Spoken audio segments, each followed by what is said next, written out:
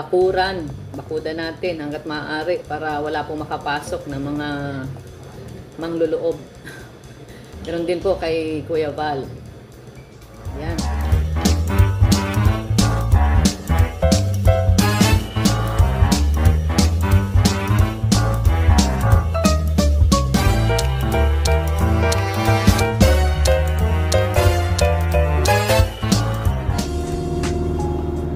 Ang sarap talaga mabuhay. Ang sarap maging guwapo.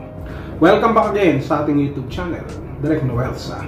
Ito naman pag-uusapan natin ngayon sa mga oras na ito ay patungkol doon sa live ni Ate Edna Vlogs na kung saan siya po ay nagpapaalala sa mga reactors, kalinga partners, K-boys at kung ano-ano pa na dapat sundin pagdating dito sa rules ng kalinga.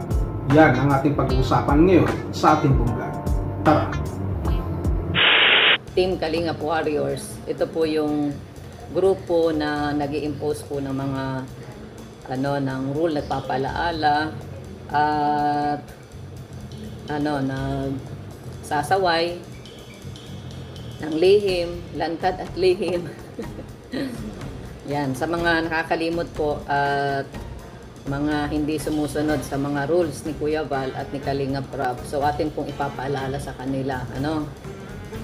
Nandito po kami, ang Team Kalingap Warriors. Grupo po kami na nagtitingin sa galawan po ng ating pong mga vloggers, partners, at saka mga reactors. Kung pwede po nating mapaalalahanan ng sekreto ng in private, ginagawa po natin yan. At kung hindi po, ay atin pong sasabihin sa live kasi hindi naman po na, hindi naman po lahat ng bagay ay i-live natin para lamang may views kasi hindi naman po uh, concern yung ating mga viewers, di ba? Halimbawa, kapag ang vlogger ay mayroong meron po siyang nilabag, pwede naman po natin siyang pagsabihan na siya na lang para hindi naman po siya mapahiya at hindi agad nagagawa ng reaksyon. Ano, minsan kasi may mga reactors po na ang pagsasaway nila ay nang papahiya, mapapahiya yung sinasaway pero hindi po tayo dapat ganun ano? Uh, paalalahanan natin ng may pag-ibig at pagmamahal. Congratulations kay Kalinga Prab dahil napakaganda po ng performance ng kanyang channel. Kaya kinakailangan po nating protektahan ano bakuran, bakuda natin hanggat maaari para wala pong makapasok na mga mangluloob. Ganun din po kay Kuya Val. Yan. Oh, narinig nyo yun. Kailangan may nasusunod talaga na rules and regulation pagdating sa isang grupo, sa isang komunidad para hindi nagkakagulo-gulo. Yung iba, alam nila ang rules and regulation, yung iba, hindi. Kasi hindi sila nagre-research, hindi rin naman sila interesado na malaman pa ang rules. Yung iba naman, alam ang rules pero pilit na kinakalimutan. Intentional and unintentional.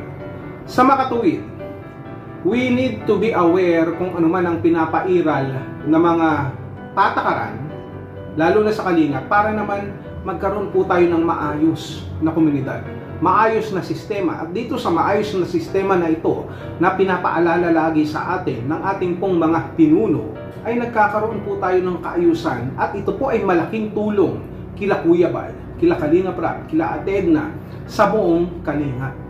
Ibig sabihin, dun man lang eh makapag-ambag man tayo ng pagsunod sa ating pong patakaran. Parang sa Pilipinas, sinasabi mo, you are a good citizen, you are proud to be a Filipino, nakikikooperate ka sa gobyerno, pero ang nangyayari, simpleng mga batas, simpleng uh, patakaran sa Pilipinas ay hindi natin nasusunod. Sinasabi, bawal magtapon dito, paano naman ang tapon mo? No? Bawal yung ganito, yun naman ang ginagawa natin. Well, congratulations naman dun sa mga ibang nakakasunod. No? Yung mga ibang sumusunod na kahit nagkamali at pag pinagsabihan ay tumatalima, tumutugon sa kanyang pagkakamali at ito po ay kanyang binabago. Eh paano naman yung mga talaga naman kahit sinasaway na? Sabi nga ni Ate Edna, eh, yung iba dyan, syempre sa Kalinga pa Warriors, sa grupo nila ay sila po ay uh, nagmo-monitor, no? Sumasaway ng mga pasaway. Lantad man o hindi lantad. O yung mga hindi pa nakakapaglantad dyan, lumantad na. Hindi ba? Kung pag-uusapan natin to, sang-ayon po ako sa sinasabi ni Ate Edna na kahit papano mayroong respeto. Pero malalaman mo naman kung talagang yung nagpapasaway sa'yo, eh wala talagang respeto. Magkaibang usapin po yan. So, when it comes to that, eh kailangan ma-broadcast yan para alam ng iba. It's true na hindi natin kailangan mamahiya ng tao. Pero kapag kahiya-hiya na ang ginagawa, at ikaw mismo ay hinihiya at hindi nire-respeto, dapat malaman po yan ng mga tao. Para hindi na pamarisan pa at para malaman nila na seryoso tayo sa ating kung pinapairal ng mga patakaran. It's true na kailangan na sawayin, sawayin ng may pagmamahal. Kaya nga, ganun ang ginagawa namin eh, na iba. Ito, joke lang ha, Ted na. Kaya nga, Ganun ang ginagawa namin eh. No, sinasaway namin na may pagmamahal. Sabi nga, the more you hate, the more you love. So, ibig sabihin, pag sinasaway namin sila ng may pagmamahal, kaya nirarat-rat namin sila kasi mas maganda nga na mas maraming rumarat-rat. Mas malaki ang pagmamahal namin kapag inaaway namin sila. So, hindi lamang yan. Ngayon, walang sasama ang loob. No? Kumbaga, walang personalan. Sabi nga nila, sa pagpapairal ng patakaran, walang kaibigan, walang pamilya, no? walang tropa-tropa, ka mga kachokaran dyan.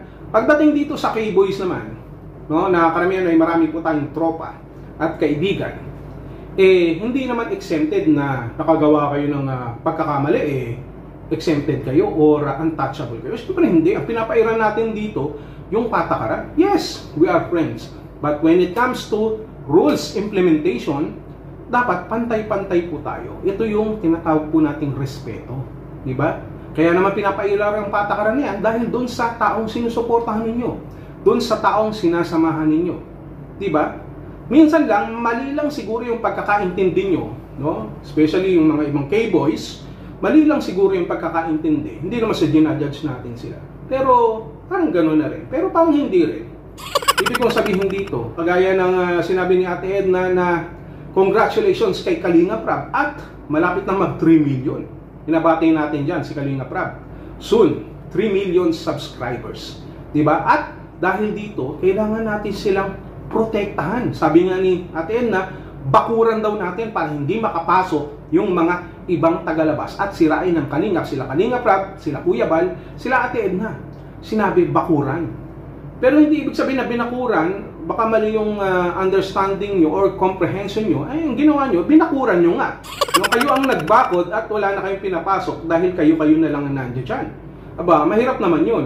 Siyempre, kailangan nyo rin sumunod o magbigay sa iba kung ano yung ine-expect sa inyo na kahit paano nakakapag-charity kayo, no, gawin natin. Hindi ko sinasabi na perfecto ako, may mga pagkukulang din ako no, sa responsibilidad ko bilang isang reactor, especially sa pagpupromote ng mga kalinga partners na mabababa pa. Pero ganun din naman, sa grupo ng K-Boys o ng ibang kalinga partners, yung malalaki na ang channel, ay dapat nagagawa nila ang kanilang bahagi sa pagcha-charity. Kahit papaano. Whether you are K-Boys, you are staff, kung kinakailangan, kung ikaw ay may responsibilidad, ay dapat nagagawa. No?